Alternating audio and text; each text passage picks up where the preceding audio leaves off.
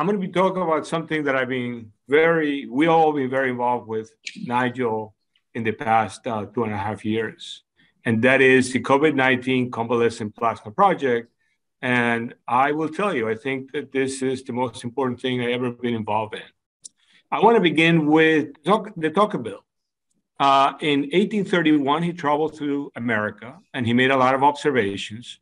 And one of the things that struck him most was that in the United States, you could see all sorts of associations that came together to do things. And this was had no precedent in Europe, where you relied on the on the king, the government to do so. And what I'm going to tell you is that we can, in our society, we can't, we can't do anything about guns. We can't do anything about a lot of things, but we can still get together and get things done. And that is uh, priceless. So uh, go back to January of 2019. Uh, the I was watching the situation with a lot of concern. This was before we ever got together in any way, and people were writing all kinds of stuff, but there was no mention about plasma therapy. And I knew about this, and I knew the history. They were talking monoclonals, antivirals, vaccines, and the question was, how do you get the word out? Well, I could have put it in a medical journal but no one was going to see it. So I decided to try an op-ed. I tried the New York Times, the Washington Post, Bloomberg. Nobody wanted it, but like everything in life, you said everything is luck. So I sent it to the Wall Street Journal on the day where the market tanked, and they took it. And this was really important because I had a link that I could then send around. And I basically talked about a, uh, a pediatric outbreak in this school Roswell Gallagher was a school doctor, and he went on to uh, a distinguished career in adolescent medicine. The bottom line was that you take serum from the individual who recovered, and they were able to stop the outbreak. So, with that link, I began to send it to all my friends. And one of my friends was Mike Joyner, who, as he pointed out, we had connected over concerns about problems in medicine. In fact, we had met in 2016 in Boston and continued to call. And this was his email. And what Mike realized right away, and I didn't know about it because he's an anesthesiologist and he's always hanging blood products, is that there was a tremendous capacity in the country that this could be done at scale. And, um, and that is the email. So we all began to organize and mobilize. So uh, in March 2020, a lot of things happened.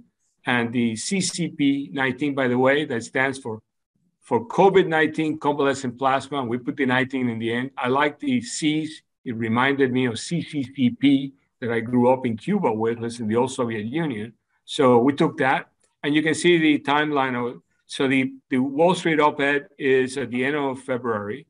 Send it to all my friends. We organize largely by email.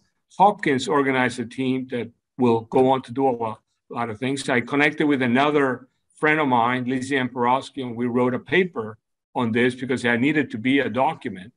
And by the middle of the month, we had formed the Convalescent Plasma Project with Mike and Nigel. And you can see by the end of the month, plasma was being used in the United States. And what had happened was that there was nothing you could do. And the media jumped on this and people began to put all kinds of applications to the FDA, and the FDA couldn't have INDs in every single hospital, so they contracted Mayo Clinic with Mike Joyner as the PI to have the, extended access protocol, which was to be a very significant part of the early effort. So uh, initial contacts created the leadership. I became chair because Mike made me chair without any consultation. Uh, who knows? I just became chair. But I want to point out some of these outstanding people. Well, you know, Nigel, three of these people will become uh, PIs on major studies. Liise-anne will do the contain randomized clinical trial. Shmuel will do a prophylaxis a randomized clinical trial. Mike would do the PI extended access uh, program. And Jeff Henderson will bring in immunocompromised, and Brenda Grossman taught us about transfusion medicine. I mean, we're a bunch of internists and one pediatrician. We didn't really know very much, but Brenda educated us and continues to educate us and was a, a force that made sure that we didn't go off the rails. So the plasma project, this is the first thing it did was Nigel constructed a website, and this website now allows the downloading of protocols. Uh, originally, we had somebody from Sinai, but this individual left the group. So, so there have been three phases to CCP19. In 2020, it enabled the deployment of convalescent plasma.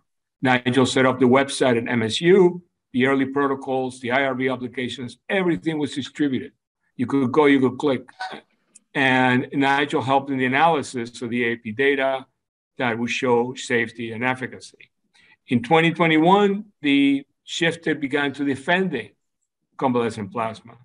Um, and I will basically mention some of the analysis that it did. It created detailed critiques of flawed clinical trials. Uh, you find a clinical trial that is negative, you can go to our site and you can see why we think the problem is. And then we also did op-ed position papers. And in 2022, it's been more consolidation institute, institute I can't pronounce it, but you can read it. Uh, we by then three major societies recommended convalescent plasma an, an allegiance alliance with the AABB to promote CCP and ensure availability and a focus on immunocompromised patients. So in, this, in the summer, within a couple of months, one of the key questions was, is it safe? And this was shown to be safe. Uh, the first study was published in Journal of Clinical Investigation. A much larger study then was published in the Mayo Clinic Proceedings. This is Nigel's symposium, so you can see him underlined there. Then the question of efficacy.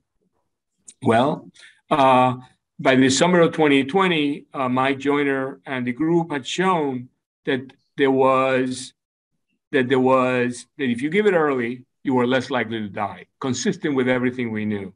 But the most important from a scientific point of view was that he had a dose response. And a dose response in science, it's very strong evidence for a efficacy. And uh, this was presented in preprint form in the summer of 2020. Sadly, none of the randomized clinical trials took advantage of this data to modify. They basically went on and they plowed on to produce negative results in, in, in, in 2021 in ways that, that will, I'm about to show you were terribly detrimental. Uh, this was eventually published in the New England Journal of Medicine, and then we ran into the politics. Uh, which was a real problem in the in the summer of 2020. In fact, CCP becomes the defender of the FDA, and here is a Wall Street, another Wall Street op-ed in which Nigel and I write uh, to try to reconcile what's going on and, and, to, and to defend the decisions that were made. Convalescent plasma use in the United States rises rapidly with the cases. So we went from zero in March to 20,000 units per week in the fall. And that is a tribute to the blood bankers who were able to go from essentially nothing to produce this uh, and be available to the American public, anyone who needed it within a couple of months. So um, this is an epidemiology symposium. This is work that Nigel was very much involved on. One of the things that we did was we knew the usage and we knew the mortality. And what you can see is strong inverse correlation between use and mortality in the United States. The more plasma was given, the fewer the death, just like a smoking type of study. And from there, you can calculate that it saved 100, about 100,000 lives in the first year of the pandemic. But things will, triumph will turn to tragedy. Uh, what you can see is the usage drops rapidly. Three randomized controlled trials, not done in the United States, report no benefit. And these randomized controlled trials give it differently than, or doctors are giving it, or doctors are using it right. They're giving it on admissions. This are, is all late usage, but the randomized trials have such a, uh, a grip on the medical thinking that there is a rapid drop in usage we can estimate that there were 37,000 excess deaths in three months uh, as a result of this. And this was is sobering, and it shows you how much work we got to do to uh, into in medical training. In the winter of 2020, get, uh, convalescent plasma gets a second look. So what happens? Well, Omicron takes out the monoclonals. most monoclonals, and today they're all practically all gone. Uh, the two Hopkins randomized controlled trial, which is now done in outpatients, which is now done early, provides unequivocal evidence of efficacy. I'll show you some of that data.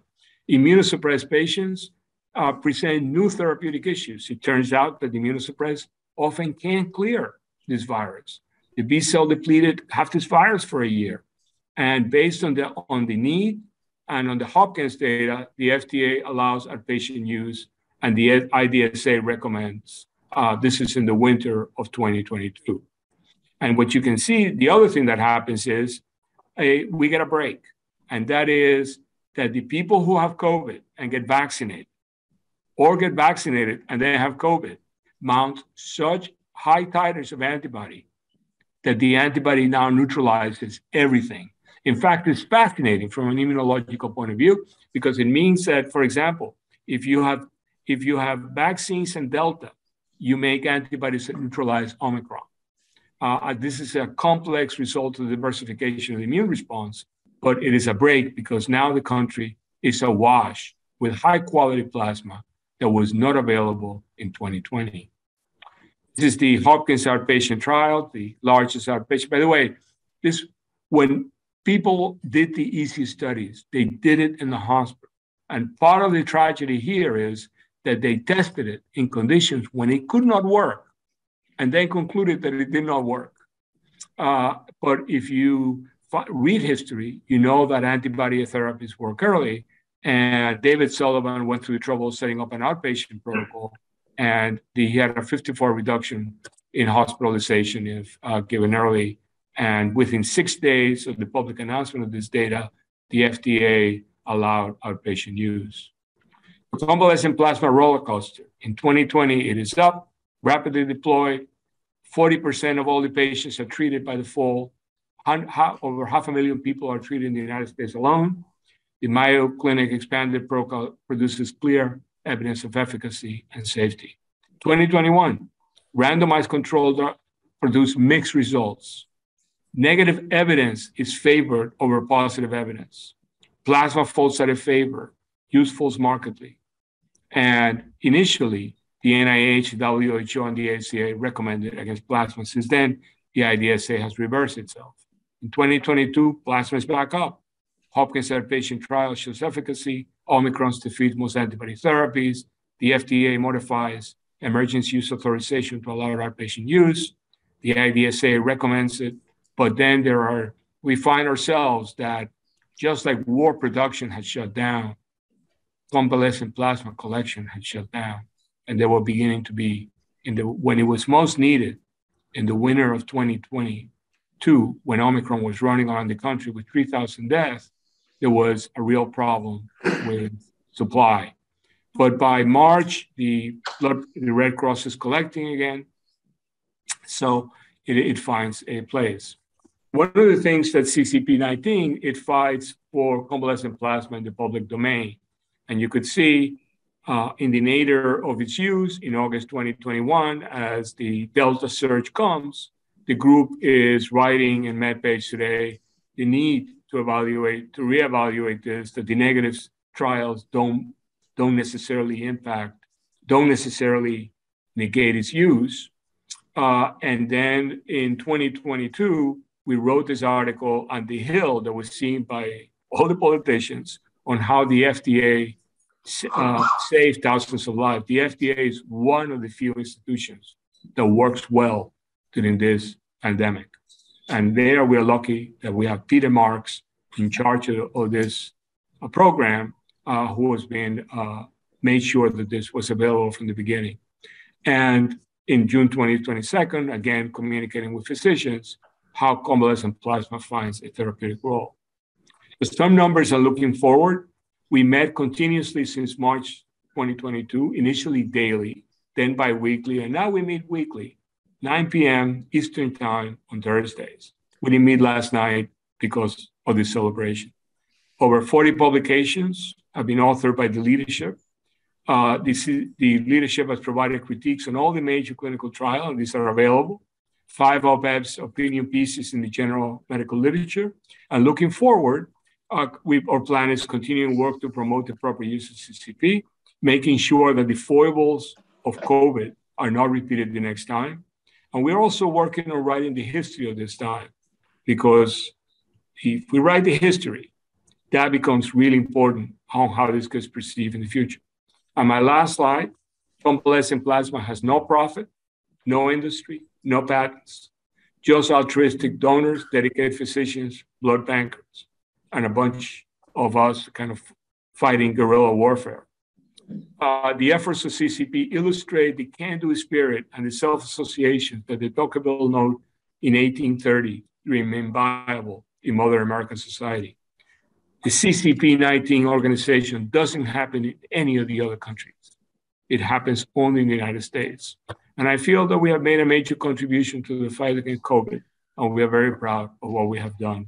And thank Nigel for being a key member of this group. So with that, I'll stop sharing.